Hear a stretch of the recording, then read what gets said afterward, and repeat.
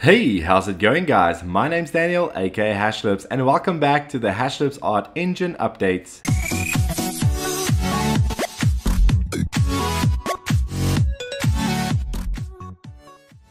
So for the version 1.0.5, there's been two utilities that's been added and I'm excited to share it with you.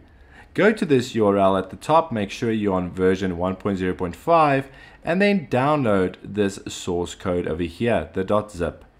Then go and open your IDE and extract this file and open it there. When you have downloaded the zip onto your machine, extract it and then go and open it in your favorite IDE. I'm using Visual Studio Code which you can download and just simply say file open and open that folder after you've extracted it.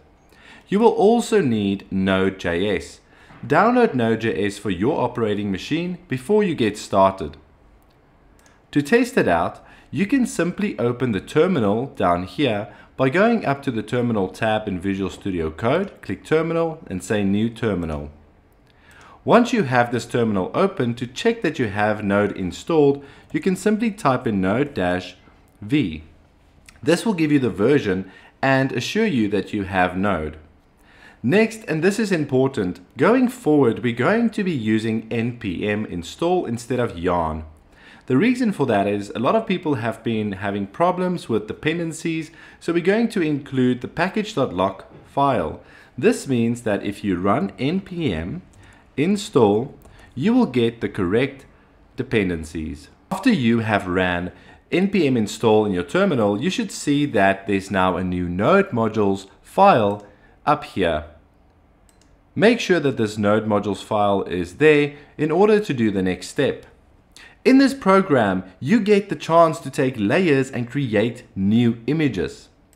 If you want to see how to do the full tutorial on taking different layers such as these and turning them into new artworks, follow along with this purple series on YouTube and start from the first video up until this one you might find that the different version builds, such as this one where it's version 1.0.5, have different add-ons and different things that you need to consider when running the program. For instance, from now on, we are going to try and keep to NPM instead of yarn.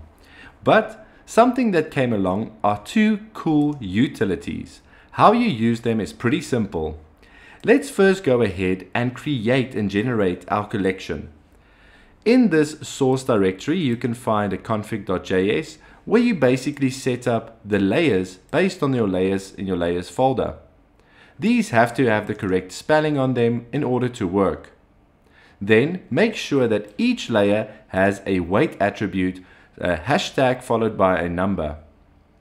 Once you've set that up, you can order your layers in a specific way. You set your growth to edition size to how many you want to create and if you watch the previous series, you also see how to do different layer configurations.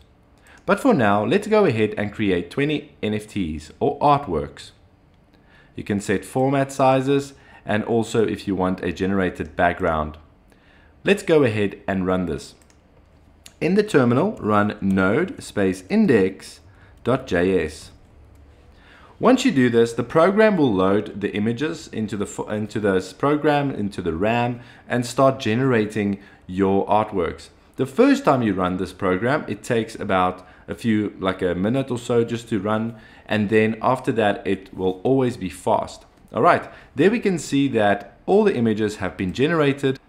We can verify that the collection ran successfully, but firstly seeing the logs looking like this, and it will create a new build folder. If we go into the build folder, you can see that there's an images and a JSON folder.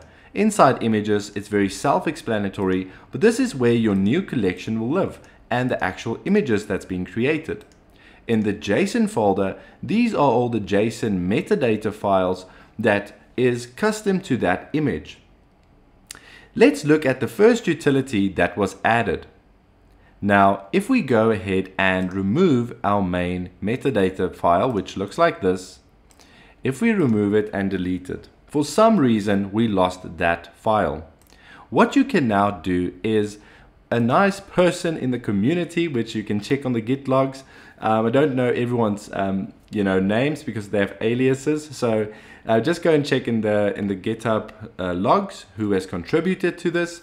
but they have added the functionality to actually go and regenerate this metadata file. So how you would use this utility is actually by going into your terminal again. Let me clear it by pressing Command K. Then you can run node space utils forward slash. Why do we put utils forward slash? Because we want the program to be pointing into the utils folder. After that, you can add regenerate metadata.js. Once you do this, the program will literally go and look at all the individual files and you see there's our metadata JSON again. And that's exactly how it works. The second utility, which is pretty cool, and I love it really so much that I'm excited to show it with everyone, to everyone, is the fact that you can now build and create preview images of your collection once you are done. So in order to create your preview image, all you have to do is in the terminal, you can run node space utils. We're going into the utils folder again, and then we need to say create preview collage.js. All right. When we run this, you can actually see that it created an image for us. And if we open the build folder now, the preview.png should look like this. That is simply how it works.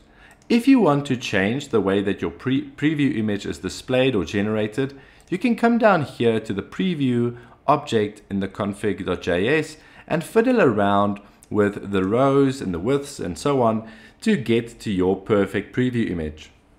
But that being said, guys, that's all for this version update. I hope you enjoyed it. I hope you guys are going to make use of it.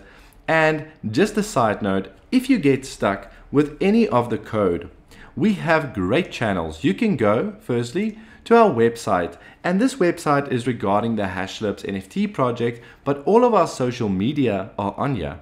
So what you can do is you can go to our Discord channel, our Telegram group, uh, Twitter, YouTube, anything you would like to. Our Discord uh, looks like this, as well as our Telegram. In these two channels or communities, you will definitely find the help if you don't know how to come right with this code that we have just ran. You can ask questions, but please be mindful and friendly in the community because there's always people who want to help out. Lastly, guys, I want to say thank you to the 51 uh, NFTs that sold of the Nerdy Coder clones. If you want to get your own one, you can go to the Nerdy Coder clones online, connect to the Polygon network and buy one. It's a 100 Matic, but anyway, we will have some cool things happening with that in the future. So I hope you enjoyed this video and guys, I'll see you in the next one.